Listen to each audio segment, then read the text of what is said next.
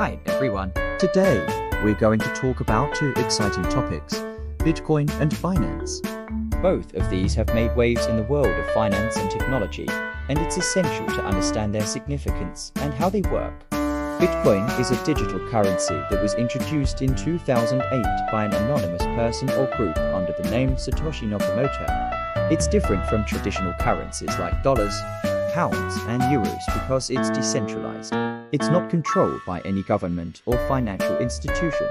Bitcoin operates on a peer to peer network where users can send and receive money instantly without the need for intermediaries like banks or payment processors. The blockchain technology underpins Bitcoin, which records every transaction on a public ledger called the blockchain. Now, let's talk about Binance, a popular trading platform that's known for its Bitcoin and other cryptocurrency offerings. Binance was founded in 2017 and has since grown exponentially, making it one of the largest cryptocurrency exchanges globally.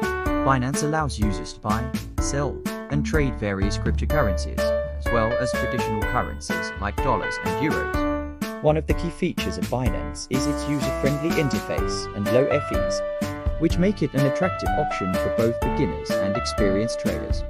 In summary, Bitcoin is a digital currency that operates on a decentralized peer-to-peer network. While Binance is a popular cryptocurrency exchange, both of these have gained popularity in recent years due to their unique features and potential for growth in the financial industry. If you're interested in learning more about Bitcoin or Binance, there are plenty of resources available online to help you get started. So, dive in and explore these exciting worlds.